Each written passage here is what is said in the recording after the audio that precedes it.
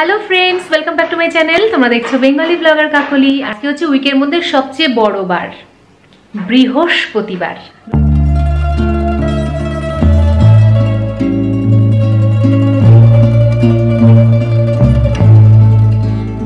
বৃহস্পতিবার, বিকেলবেলা থেকে আমার ব্লগ স্টার্ট হলো। আমার লাঞ্চ কিন্তু কমপ্লিট হয়ে গেছে। দুপুরে আজকে খেলাম।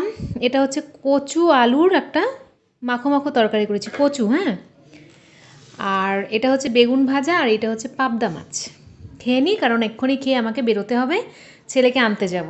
এখন বাজে সোয়া তিনটে, আমি বেরোচ্ছি, ছেলেকে আনতে যাব। কারণ ছেলের শরীরটা খুব একটা ভালো না, ও স্কুলে গেছে।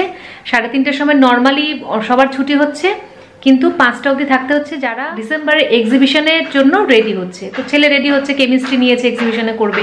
তো সেই জন্য ছেলে পাঁচটায় আসবে, কিন্তু আমি আজকে যাচ্ছি ওকে সাড়ে তিনটে নিয়ে আসার জন্য, কারণ শরীরটা খুব একটা ভালো না। বাড়ি আসবে, কারণ এসে আবার ওকে সাতটার সময় পড়তে যেতে হবে। তো এইটুকু সময় একটু রেস্ট নেবে। আমি বেরিয়ে যাচ্ছি, তাই ভাবলাম ব্লগটা শুরু করে যাই।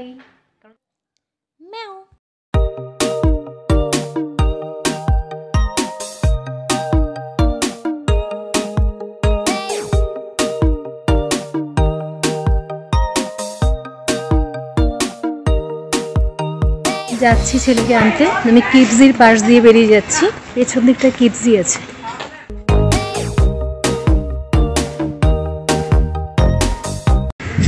তিনটের রাস্তা দেখো। তিনটে নয় তিনটে কুড়ি বাজে এখন। ফাঁকা আর মনে হচ্ছে সন্ধে হয়ে গেল প্রায়। একটা বৃদ্ধাশ্রমকে ডান দিকে ফেলে আমি এখন বেরিয়ে যাচ্ছি আর এই বৃদ্ধাশ্রমের পাশ দিয়ে যতবারই যাই মনটা কেমন যেন করে ওঠে। দেখো মাঠে গরু চড়ছে। আর এই মাঠটার ঘাস কাটা হয়েছে মনে হচ্ছে। তাই মাঝখানে অনেকে বসেও আছে খুব ভালো লাগছে দেখতে। শীতকালে এই জিনিসটা খুব দেখা যায়, দেখবে? আগুন জ্বালানো, রাস্তার ধারে ধারে। জঙ্গল সাফ হচ্ছে, দেখাচ্ছি তোমাদের আরেকটা। এই দেখো, কি ধোয়া। বাতাসে তো অনেক পলিউশন হচ্ছে, কিন্তু মাঠের ঘাস কাটা হয়েছে, সেটা আগুন দিয়ে জ্বালিয়ে দেওয়া হয়েছে। একাকি সারমেও দেখো, রৌদ্র পোহাচ্ছে। গাছগুলো কি ভালো লাগে না? সবুজে সবুজ। আর রাস্তা পুরো শান্ত, নিরিবিলি। আর এখানে দেখো একজন ভদ্রলোক, বয়স্ক ভদ্রলোক রোদ পোহাচ্ছে ছাদে। এখন আমি যাচ্ছি পুকুরের পাড় দিয়ে। তো পুকুরের দৃশ্যটা এত সুন্দর, তো সেটা তো দেখাতেই হয়। আর এইদিকে একটা সুন্দর কৃষ্ণচূড়া গাছ রয়েছে, আর রোদটা তোমাদের দেখিয়ে দিই, দেখো। দেখলে? আর এখানে দেখো একটা ছোট্ট ছানা, মিষ্টি রোদ পোহাচ্ছে। দেখেছ? কিউট। এখানে আরও দুটি রয়েছে।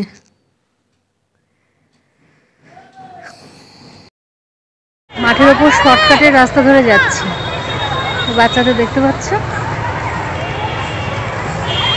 কত বড় বড় ঘাস দেখাচ্ছি।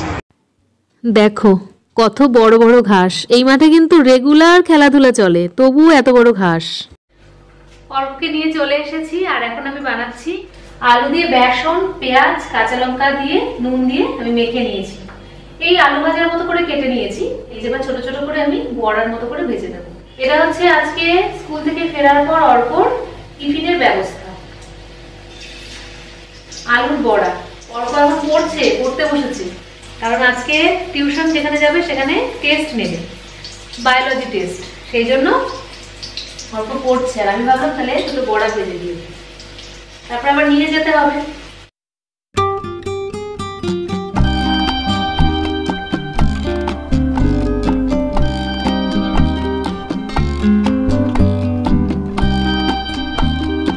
আজকে স্কুলে অর্ক টিফিনে নিয়ে গেছিল পোলাও আর আলুর দম।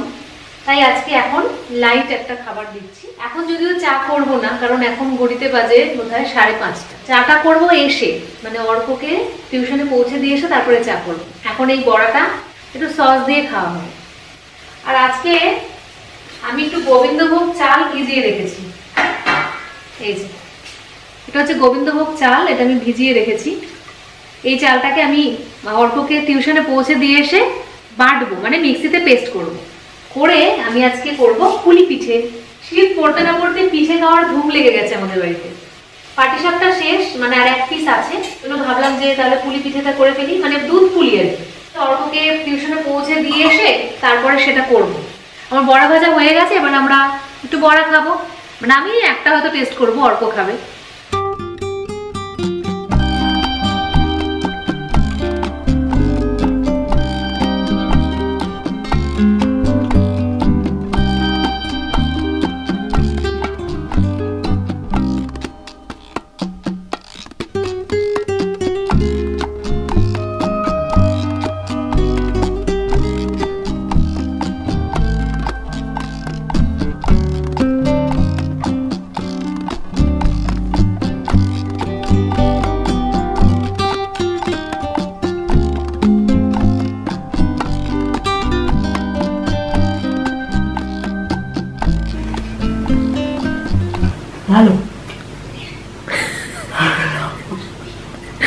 ঠিক আছে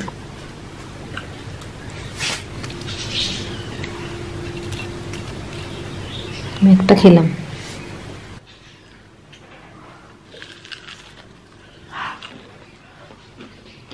গরম। গুড ইভিনিং ঘড়িতে বাজে সাড়ে ছটা। আমি এখন অর্ককে নিয়ে বেরোবো। তার আগে বসলাম তোমাদের সঙ্গে। অর্ক জামা কাপড় পরছে। আলুর বড়া আমাদের খাওয়া হয়ে গেছে। এই দেখো। হ্যাঁ। অর্ককে টিউশনে পৌঁছে দিয়ে চা কিনছি। দার্জিলিং চা আর আসাম চাই, দুটোই কিনলাম। আর কিছু গাছও কিনে এনেছি। বাড়ি এসে ওই গোবিন্দভোগ চাল ভিজিয়ে রেখে গেছিলাম, সেটাকে পেস্ট করলাম। পেস্ট করে এইভাবে একটা পরিষ্কার ন্যাকড়া দিয়ে পেস্টটাকে বেঁধে নিলাম। আমি আজকে এই প্রসেসেই করব পুলি পিঠাটা। তো সেই জন্য একটা গামলাতে কিছুটা জল ফুটিয়ে নিয়েছি। তারপরে এই চাল বাটাটা পুটুলি শুদ্ধ এর মধ্যে ছেড়ে দিলাম। তারপর আমি দেখাচ্ছি যে কেমন হচ্ছে। দেখো, এরপরে দেখো আমি পুটুলিটার থেকে ন্যাকড়াটা সরিয়ে নিচ্ছি। এভাবে খুন্তির সাহায্যে পেঁচি পেঁচি সরিয়ে নিচ্ছি। আর দেখো, চালটা কিন্তু আমার শক্ত হয়ে গেছে, চাল বাটাটা। ওটা নরম নেই। তো এইভাবে ফুটিয়ে নিয়ে কিন্তু এইবারে এই যে একটা ডেলা পাকিয়ে গেছে চাল বাটাটা, সেটাকে তুলে নিতে হবে। এবার আমি পুরের জন্য নারকোল একটা ভেঙে নিলাম, আশিস চুলে দিল। এবার এই নারকোলটা থেকে ফলা ফলা করে আমি বার করে নেব নারকোলগুলো ভেতর থেকে। তারপরে সেই নারকোলগুলোকে আমি মিক্সার গ্রাইন্ডারে গুঁড়ো করে নেব। মানে কোড়ানোর মতোই হবে অনেকটা।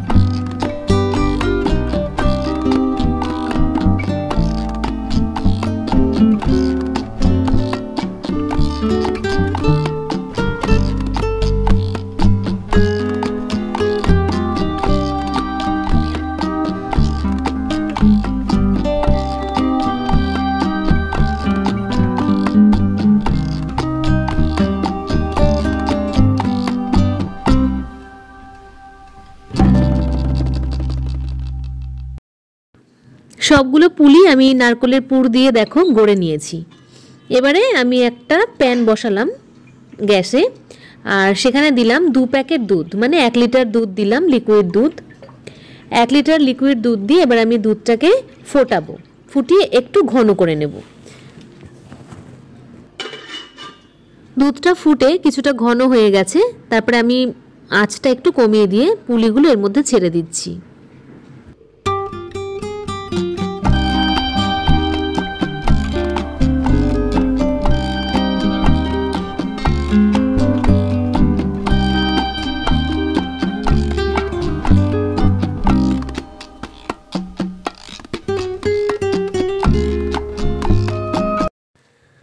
পুলিগুলো যখন সেদ্ধ হয়ে গেল দুধের মধ্যে, তখন আমি পরিমাণ মতো চিনি দিয়ে দিলাম। অবশ্যই যার যার স্বাদ অনুসারে দেবে।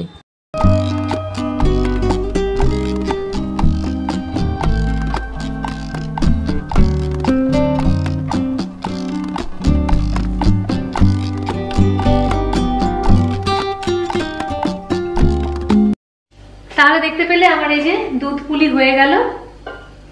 আর এখন আমি ডিনারও বেড়ে নিয়েছি। রাত্রিবেলা কিছুই রান্নার ছিল না। একটু আলু ভাজা করেছি জাস্ট তো আমরা এখন খেতে বসছি। আজকে তো সকালবেলা আলু আর কচুর তরকারি করেছিলাম একটা। সেই দিয়ে এখন খাব আর পাবদা মাছের ঝোল রয়েছে। সবাই বসে পড়েছে, এখন আমি যাব। আজকে আমি লাস্টে যাচ্ছি।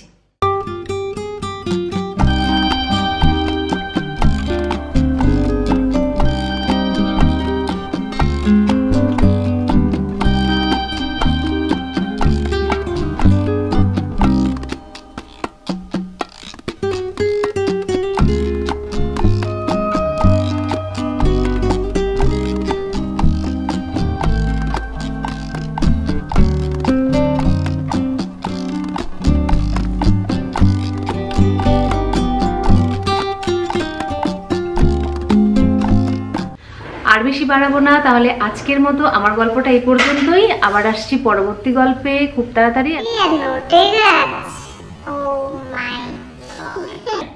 Bye bye